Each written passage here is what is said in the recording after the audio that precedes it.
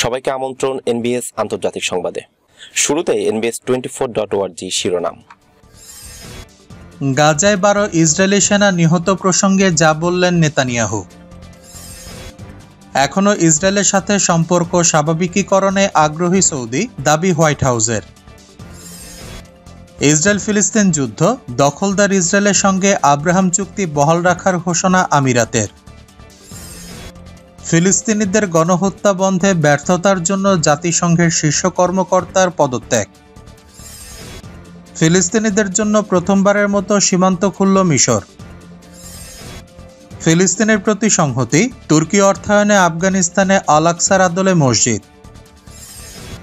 Myanmar জান্তার তেল gas কোম্পানির ওপর মার্কিন নিষেধাজ্ঞা। এবং ইহুদিদের নিরাপত্তায় দশ হাজার পুলিশ মোতায়েন করল ফ্রান্স। দর্শক, এতক্ষণ শুনছিলেন শিরোনাম, এবার বিস্তারিত। বিস্তারিত খবর পড়ছি আমি ফজলে রাব্বি।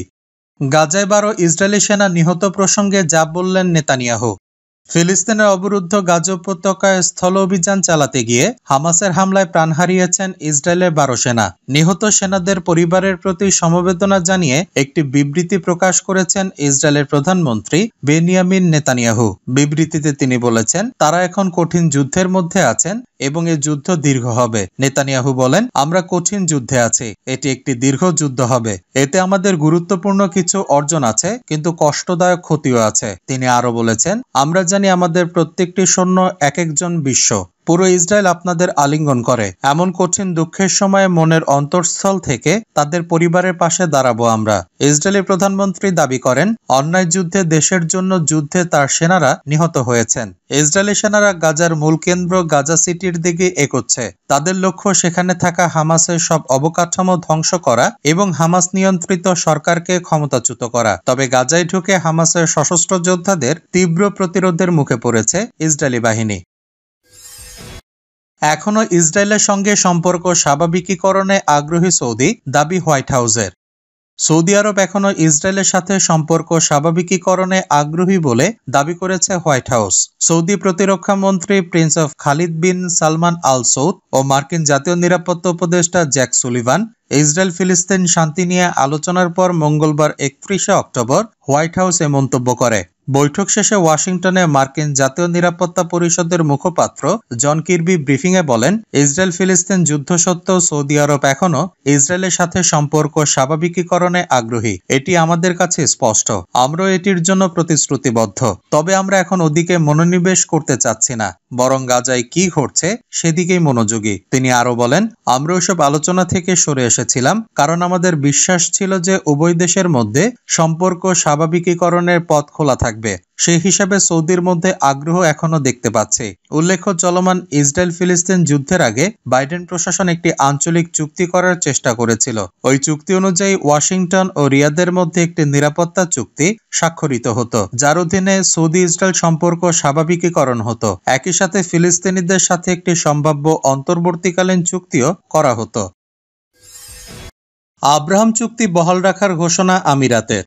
সাবেক মার্কিন প্রেসিডেন্ট ডোনাল্ড ট্রাম্পের মধ্যস্থতায় সংযুক্ত আরব আমিরাত ও বাহরাইনের পক্ষ থেকে ইসরায়েলকে দেয়া স্বীকৃতি চুক্তি আব্রাম অ্যাকর্ডসকে বহাল রাখার কথা জানিয়েছে সংযুক্ত আরব আমিরাত। মঙ্গলবার United Arab Emirates federal national কাউন্সিলের প্রতিরক্ষা, অভ্যন্তরীণ ও পররাষ্ট্র বিষয়ক কমিটির chairman doctor Ali Rashid Al Nuaimi এ কথা জানিয়েছেন। The European Jewish press এক প্রতিবেদনে এমন তথ্য জানিয়েছে। প্রতিবেদনে বলা হয়েছে, নুয়াইমি বলেন যে ইসরায়েল ফিলিস্তিন যুদ্ধ শুরু হলে অনেকে আমাদের কাছে ছুটে আসেন। তারা জিজ্ঞেস করেন, আব্রাহাম অ্যাকর্ডস নিয়ে এখন আপনাদের কি ভাবনা? ওই চুক্তি থেকে আপনারা কি ফিরে আসবেন? তখন আমরা তাদের বলি, আব্রাহাম অ্যাকর্ডস আমাদের ভবিষ্যৎ। এটি শুধুই দুই সরকারের মধ্যকার একটি চুক্তি নয়, বরং এর দ্বারা এই অঞ্চলের নিরাপত্তা, স্থিতিশীলতা ও সমৃদ্ধির দ্বার উন্মিচ্চিত হবে। তিনি এই চুক্তিকে গুরুত্বপূর্ণ আখ্যা দিয়ে বলেন, এই চুক্তির মাধ্যমে দুটি দেশের সম্পৃক্ততা বেড়েছে। এটা আমাদের দরকার। আমাদের স্বীকৃতি দিতেই হবে যে, ইহুদিদের শেকড় নিউ ইয়র্ক কিংবা প্যারিসে নয়, তাদের শেকড় আমাদের এই অঞ্চলেই। তারাও আমাদের ইতিহাসের অংশ, তাই আমাদের ভবিষ্যতের অংশ তারাও হওয়া উচিত। ফিলিস্তিনিদের গণহত্যা বন্ধে ব্যর্থতার জন্য জাতিসংঘের শীর্ষ কর্মকর্তার পদত্যাগ। নিউ ইয়র্কে জাতিসংঘের মানবাধিকার অফিস বা ওএসসিএইচআর এর পরিচালক ক্রেক মুখিবার, ইসরায়েল ফিলিস্তিন সংকট যথাযথভাবে মোকাবেলায় সংস্থাটির ব্যর্থতার অভিযোগ করে পদত্যাগ করেছেন। তার দাবি, তার কাজ করার পরিবর্তে জাতিসংঘ মার্কিন শক্তি ও ইসরায়েল লবির কাছে তারা আত্মসমর্পণ করেছে। মঙ্গলবার প্রকাশিত জাতিসংঘের মানবাধিকার বিষয়ক হাই কমিশনার ভলকার তুর্ককে লেখা এক চিঠিতে মুখিবার বলেছেন, আবারও আমরা আমাদের চোখের সামনে একটি গণহত্যা উন্মোচিত হতে দেখছি এবং আমরা যে সংস্থাটি সেবা করি, তারা এটি বন্ধ করতে শক্তিহীন বলে মনে হচ্ছে। গাজা উপত্যকায় চলমান ইসরায়েলি কর্মকাণ্ডকে জাতিসংঘের এই কর্মকর্তা স্পষ্টভাবে গণহত্যা বলে অভিহিত করে বলেন এই শব্দটি প্রায়শই রাজনৈতিক অপব্যবহারের শিকার হয়েছে। মুখিবার বলেন, ফিলিস্তিনি জনগণের বর্তমান পাইকারি হত্যা একটি জাতি জাতীয়তাবাদী বসতি স্থাপনকারী ঔপনিবেশিক মতাদর্শের মূলে রয়েছে জানিয়ে সন্দেহ বা বিতর্কের কোনো অবকাশ নেই। তিনি বলেন, আদিবাসী ফিলিস্তিনি জীবনের শেষ অবশিষ্টাংশ দ্রুত ধ্বংসের দিকে। মার্কিন যুক্তরাষ্ট্র, যুক্তরাজ্য এবং অধিকাংশ ইউরোপীয় সরকারগুলি ভয়ঙ্কর আক্রমণে সম্পূর্ণভাবে জড়িত। ইসরায়েলকে সমর্থন দিয়ে শুধুমাত্র তাদের আন্তর্জাতিক বাধ্যবাধকতা পূরণে ব্যর্থতার মাধ্যমেই নয়, বরং সক্রিয়ভাবে আক্রমণকে সশস্ত্র করে অর্থনৈতিক ও গোয়েন্দা সহায়তা প্রদান করে। মুখিবার আরও অভিযোগ করেন, পশ্চিমা কর্পোরেট মিডিয়া ক্রমবর্ধমানভাবে বন্দী এবং রাষ্ট্র সংলগ্ন দ্বারা গণহত্যা সুবিধার্থে ফিলিস্তিনিদের ক্রমাগত অমানবিক গহ্বরে ঠেলে দিয়েছে। ফিলিস্তিনিদের জন্য প্রথমবারের মতো সীমান্ত খুলল মিশর। কাতারের মধ্যস্থতায় অবরুদ্ধ গাজা উপত্যকা থেকে আহত বেশ কয়েকজন ফিলিস্তিনিকে মিশরে নেওয়া হয়েছে। বুধবার পহেলা নভেম্বর আলোচিত রাফা সীমান্ত ক্রসিং দিয়ে অ্যাম্বুলেন্সে করে তাদের মিশরে নেওয়া হয়। এর মাধ্যমে গত সাতই অক্টোবর ইসরায়েল ও হামাসের যুদ্ধ শুরুর পর প্রথমবারের মতো ফিলিস্তিনিদের জন্য সীমান্ত খুলে দিল প্রতিবেশী মিশর। রয়টার্সের খবরে বলা হয়েছে, এসব আহত ফিলিস্তিনিদের রাফা সীমান্ত ক্রসিং দিয়ে অ্যাম্বুলেন্সে করে নিয়ে যাওয়া হয়। কাতারের মধ্যস্থতায় মিশর, ইসরায়েল ও হামাসের মধ্যস্থতা চুক্তির আওতায় বেশ কিছু বিদেশি ও গুরুতর আহত ফিলিস্তিনিদের অবরুদ্ধ গাজা ছেড়ে যাওয়ার অনুমতি দেওয়া হবে। মিশরীয় কর্মকর্তা রয়টার্সকে বলেছেন, বুধবার পাঁচশো বিদেশি পাসপোর্টধারীকে রাফা সীমান্ত ক্রসিং দিয়ে গাজা ছাড়ার অনুমতি দেওয়া হবে। এর জন্য সকালে রাফা ক্রসিং এর ফিলিস্তিনিদের পাশে শত শত মানুষ জড়ো হয়েছেন। অন্যদিকে বিবিসি জানিয়েছে, প্রথমে গুরুতর আহত আটাশি জন ফিলিস্তিনিকে সীমান্ত পার হতে দেওয়া হবে। এরপর বিদেশি নাগরিকদের যেতে দেওয়া হবে। ফিলিস্তিনের প্রতি সংহতি, তুর্কি অর্থায়নে আফগানিস্তানে আলাকসার আদলে মসজিদ। মুসলিম ঐতিহ্যের অন্যতম স্থাপনা ফিলিস্তিনের পবিত্র মসজিদুল আকসার কুব্বাদুস সাকরা বা ডোম অব দ্য রক। এবার দেশটির মজলুম মুসলিমদের প্রতি সংহতি জানিয়ে কুব্বাতুস সাকরার আকৃতিতে আফগানিস্তানে একটি মসজিদ তৈরি করা হয়েছে।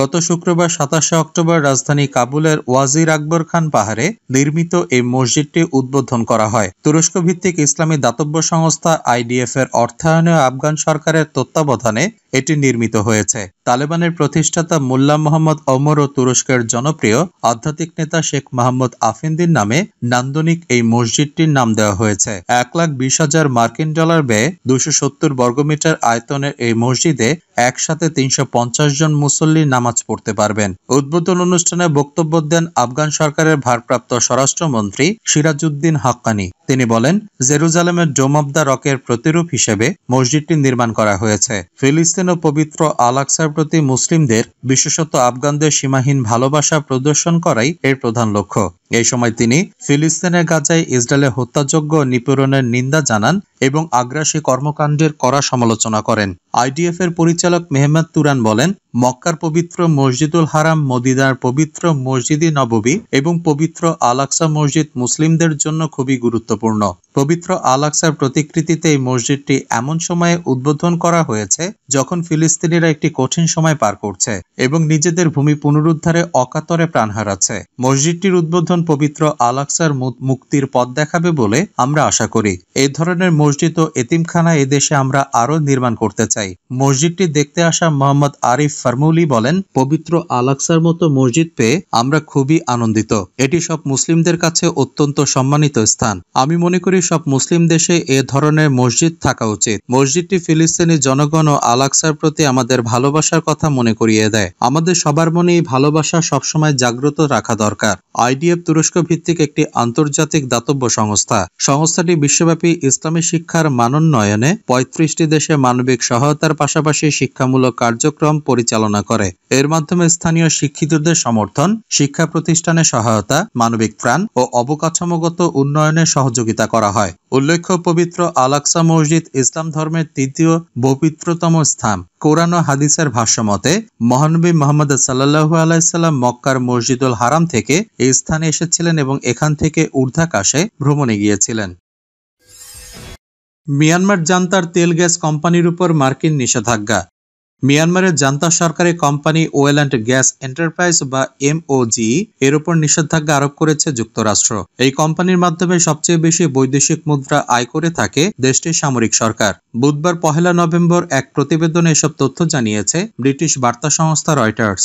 এক বিবৃতিতে মার্কিন অর্থ মন্ত্রণালয় জানিয়েছে, আগামী পনেরোই ডিসেম্বর থেকে যুক্তরাষ্ট্রের নতুন এই পদক্ষেপ কার্যকর হবে। এই পদক্ষেপের কারণে যুক্তরাষ্ট্রে মিয়ানমারের এই কোম্পানিটির বেশ কিছু আর্থিক পরিষেবা বন্ধ হয়ে যাবে। এসব পরিষেবার মধ্যে রয়েছে ঋণ, অ্যাকাউন্ট বীমা, বিনিয়োগ ও অন্যান্য পরিষেবা। দেশের তেল ও গ্যাস থেকেই সবচেয়ে বেশি আয় করে থাকে মিয়ানমারের সামরিক সরকার। সরকারি তথ্য অনুযায়ী, দুই সালে একত্রিশে মার্চ থেকে ছয় মাসে শুধু এই খাত থেকে একশো কোটি ডলার আয় করেছে জান্তা সরকার। মিয়ানমারের অতি গুরুত্বপূর্ণ খাতটির নিয়ন্ত্রক প্রতিষ্ঠান হল oil and gas enterprise. Oil and gas enterprise ছাড়াও ব্রিটেন ও কানাডার সঙ্গে যুগপথভাবে মিয়ানমার জান্তা সরকারের সঙ্গে সংশ্লিষ্ট তিনটি সংস্থা ও পাঁচ ব্যক্তির বিরুদ্ধে নিষেধাজ্ঞা আরোপ করেছে ওয়াশিংটন।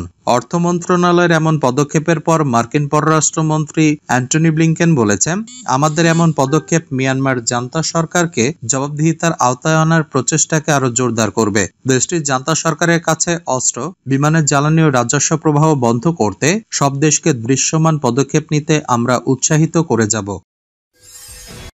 ইহুদিদের নিরাপত্তায় দশ হাজার পুলিশ মোতায়েন করল ফ্রান্স। ইহুদিদের উপাসনালয়ে নিরাপত্তা নিশ্চিতে দশ হাজার পুলিশ মোতায়েন করেছে। ফ্রান্স। দেশটির স্বরাষ্ট্রমন্ত্রী জেরাল্ড ডারমানিন মঙ্গলবার এ ঘোষণা দিয়েছেন। ফিলিস্তিনিদের উপর ইসরায়েলের সাম্প্রতিক বর্বরতার প্রেক্ষিতে ফ্রান্সে ইহুদিদের টার্গেট করে বেশ কিছু সহিংসতার খবর পাওয়া গেছে। এরপরই ইহুদিদের নিরাপত্তা দিতে অতিরিক্ত ওই পুলিশ মোতায়েনের ঘোষণা এলো। এ খবর দিয়েছে স্পুটনিক। খবর জানানো হয়, ফরাসি প্রেসিডেন্ট ইমানুয়েল ম্যাক্রনি ইহুদিদের স্কুল সিনাগক এবং সাংস্কৃতিক কেন্দ্রগুলির নিরাপত্তা বৃদ্ধির নির্দেশ দিয়েছেন। ফ্রান্সের মোট নয়শো পঞ্চাশটি স্থানকে এই নিরাপত্তার অধীনে আনা হবে। ফরাসি পার্লামেন্টে কথা জানান ডারমানিন। তিনি বলেন, গত সাতই অক্টোবরের পর থেকে ফ্রান্সে মোট আটশো সাতান্নটি ইহুদি বিদ্বেষী ঘটনা ঘটেছে। এই সংখ্যা গোটা দুই হাজার বাইশ সালের থেকেও বেশি। প্যারিস ও এর কাছাকাছি ছোট শহরগুলোতে থাকা ইহুদি বাসিন্দাদের সবথেকে বেশি টার্গেট করা হয়েছে। এছাড়া ইহুদিদের বাড়িতে বিভিন্ন উস্কানিমূলক স্প্রে পেন্ট করা হয়েছে বলেও জানা গেছে। ফ্রান্স কর্তৃপক্ষ ইহুদি বিরোধী এসব ঘটনার নিন্দা জানিয়েছে। প্যারিসের ডেপুটি মেয়র আন্তোনিন গুইলো ইহুদি বিদ্বেষকে অগ্রহণযোগ্য আখ্যা দিয়ে এর নিন্দা জানিয়েছেন। সেন্ট ওয়েনের মেয়র করিম বোয়ামারেন বলেছেন, তার অফিস ফ্রান্সের ঐতিহ্যগত মূল্যবোধের প্রতি প্রতিশ্রুতিবদ্ধ। দর্শক, এই ছিল এখনকার মতো। আমাদের পরবর্তী সংবাদ দেখার আমন্ত্রণ জানিয়ে বিদায় নিচ্ছি আমি শফিউল আলম আরাফ।